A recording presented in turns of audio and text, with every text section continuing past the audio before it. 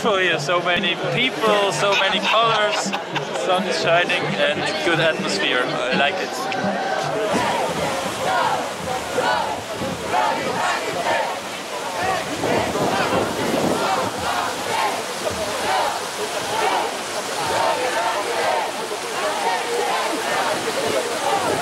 Suis Madi Selo de Côte d'Ivoire et je suis là avec tout ce monde-là pour voir qu'est-ce qu'on peut faire pour changer le monde, pour voir si un autre monde est possible.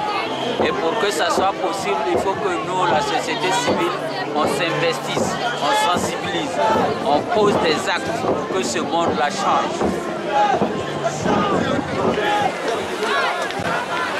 Estamos trabajando con las comunidades por el tema de las industrias extractivas violentando derechos de las poblaciones y trabajamos apoyándolas en fortalecer sus organizaciones, fortalecer sus capacidades y buscamos hacer incidencia política con ellas para que cambien las políticas, las leyes y en realidad para que sea justicia. Estamos acá por invitación de CCFD Tierra Solidaria, porque pensamos y hemos aceptado, porque pensamos que este es un espacio donde podemos exponer nuestros problemas, pero también aprender de los demás, de cómo están haciéndolo, y creemos que aquí se va a dar un debate muy rico con relación a alternativas al desarrollo y post-extractivismo, y creemos que es un tema importante.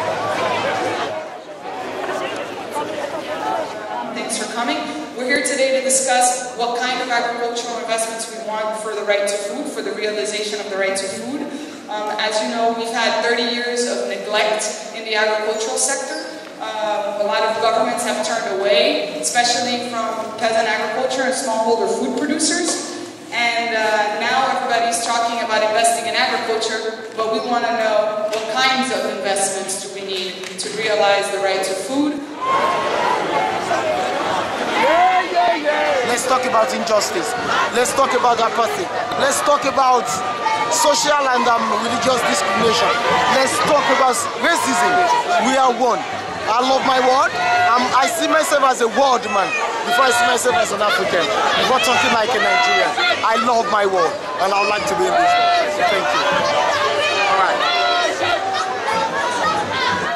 It's so beautiful to have the oppressed of the world coming together, building new solidarity, building new partnership, calling for a new beginning for a new world to come where each one will be at home. That's it.